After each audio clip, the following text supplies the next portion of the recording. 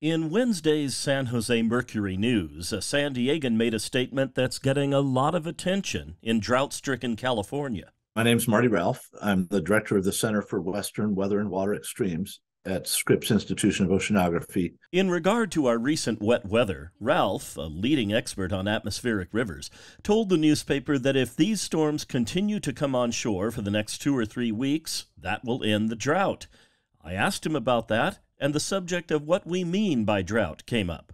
I think there's something we could call landscape drought, which is like the the the plants and all that growing in the soils and you know the soils themselves. But the deeper groundwater things, that's a long haul to recover that. That's going to be decades of good management and and you know additional precipitation. It's been a great start to what we call the water year. The National Weather Service's Alex Tardy agrees with Marty Ralph. Now we wait to see what happens over the course of the next couple of months.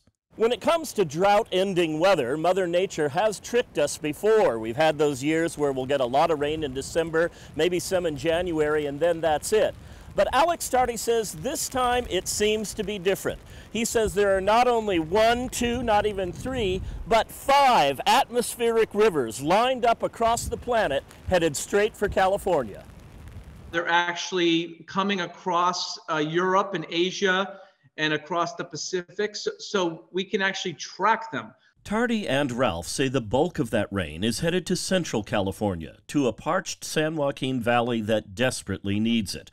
Plus, the snowpack in the Sierra is already 120% of average. Of course, the flip side is concern about flooding and mudslides.